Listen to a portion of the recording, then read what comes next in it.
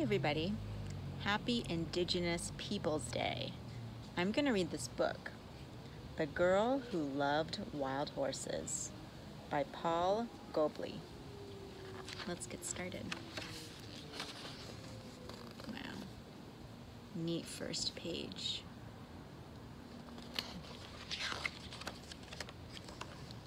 The Girl Who Loved Wild Horses.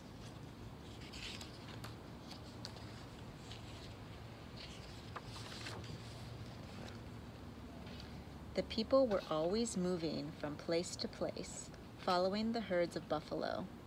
They had many horses to carry the teepees and all their belongings. They trained their fastest horses to hunt the buffalo.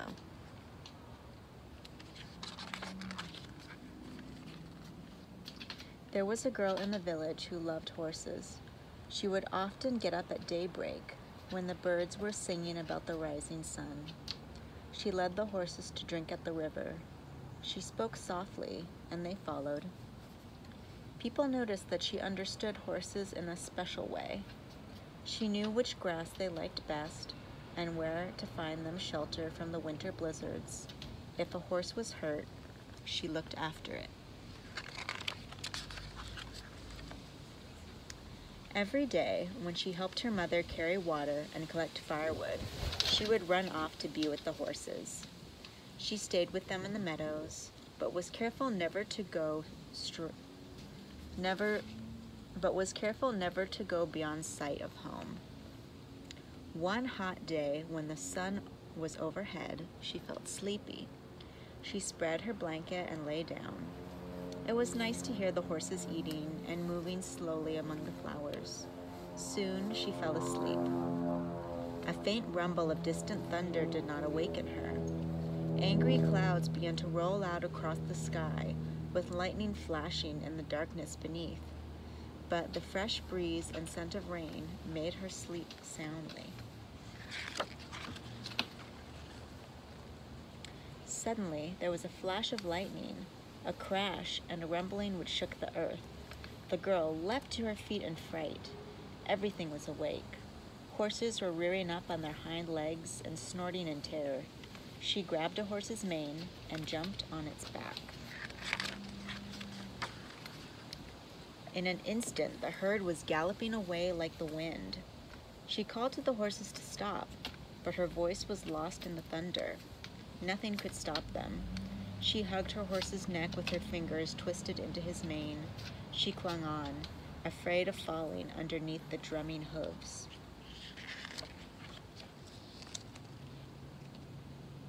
The horses galloped faster and faster, pursued by the thunder and lightning. They swept like a brown flood across hills and through valleys. Fear drove them on and on, leaving their familiar grazing grounds far behind. At last, the storm disappeared over the horizon. The tired horses slowed and then stopped and rested. Stars came out and the moon slowed and then stopped and rested. Stars came out and the moon shone over the hills. And the moon shone over the hills the girl had never seen before. She knew they were lost. Next morning, she was wakened by a loud neighing. A beautiful stallion was prancing to and fro in front of her, stomping his hooves and shaking his mane. He was strong and proud and more handsome than any horse she had ever dreamed of. He told her that he was the leader of the wild horses who roam the hills. He welcomed her to live with them. She was glad, and all her horses lifted their heads and neighed joyfully happy to be free with the wild horses. The people searched everywhere for the girl and the vanished horses, but she was nowhere to be found. About a year later, two hunters rode into the hills where the wild horses lived. When they climbed a hill and looked over the top, they saw the wild horses, led by a beautiful spotted stallion. Beside him rode a girl leading a colt. They called out to her. She waved back, but the stallion quickly drove her away with all his horses. The hunters galloped home and told what they had seen. The men mounted their fastest horses and set out at once. It was a long chase. The stallion defended the girl and the colt. He circled round and round them so the riders could not get near. They tried to catch him with ropes, but he dodged them. He had no fear. His eyes shone like cold stars. He snorted, and his hooves struck as fast as lightning. The riders admired his courage. They might never have caught the girl, except her horse stumbled and fell.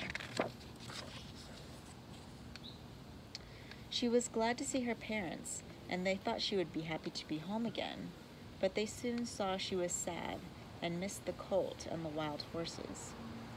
Each evening, as the sun went down, people would hear the stallion neighing sadly from the hilltop above the village, calling for her to come back. The days passed. Her parents knew the girl was lonely. She became ill, and the doctors could do nothing to help her. They asked what would make her well again. I love to run with the wild horses, she answered. They are my relatives. If you let me go back to them, I shall be happy forevermore. Her parents loved her and agreed that she should go back to live with the wild horses. They gave her a beautiful dress and the best horse in the village to ride. The spotted stallion led his wild horses down from the hills. The people gave them fine things to wear colorful blankets and decorated saddles. They painted designs on their bodies and tied eagle, and tied eagle feathers and ribbons to their manes and tails. In return, the girl gave the colt to her parents. Everyone was joyful. Once again, the girl rode beside the spotted stallion. They were proud and happy together. But she did not forget her people.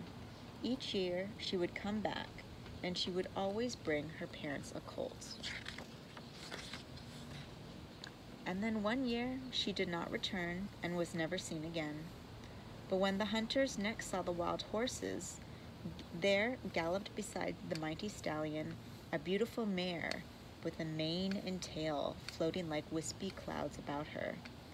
They said the girl had surely become one of the wild horses at last. Today, we are still glad to remember that we have relatives among the horse people, and it gives us joy to see the wild horses running free. Our thoughts fly with them.